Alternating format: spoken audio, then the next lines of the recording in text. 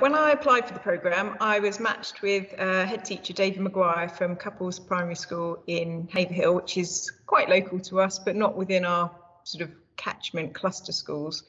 We had an initial meeting where we talked about what we could get out of the programme. And for us, we were really looking at ways that we could uh, streamline our teacher workload and work smarter with the use of technology we had a meeting, myself, the head teacher and the school business manager with David, a virtual meeting where he talked through lots of Office 365 apps and how we could best utilize them to work smarter as teachers.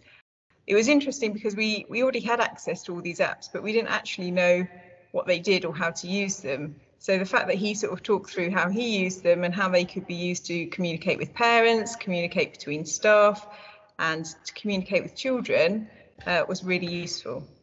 I think the biggest thing that we got out of the programme was it gave the teachers and myself as sort of the, the leader on this the confidence to try new things. So we've implemented different ways of working to reduce teacher workload, centralise some resources that we have.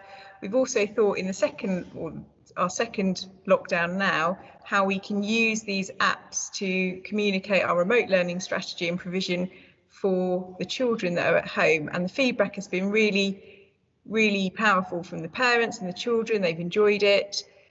The programme itself was really pivotal in helping us achieve that because without David's sort of input, we, we wouldn't have had the confidence to go out and try them. And, and I think for us, the best thing was that once you tried one or two of the Office apps, actually, we realised that a lot of the features were sort of duplicated in the, the ways in which they work. So it became easier for staff to to think about actually sharing tools with each other remotely. I think if you're considering applying for the programme, you really need to have a clear idea about what you aim to get out of it. So, is it that you want support with teacher workload? Is it that you want support with your curriculum delivery for the children? I think if you go into the programme knowing what you hope to get out of it, then they will help you achieve that.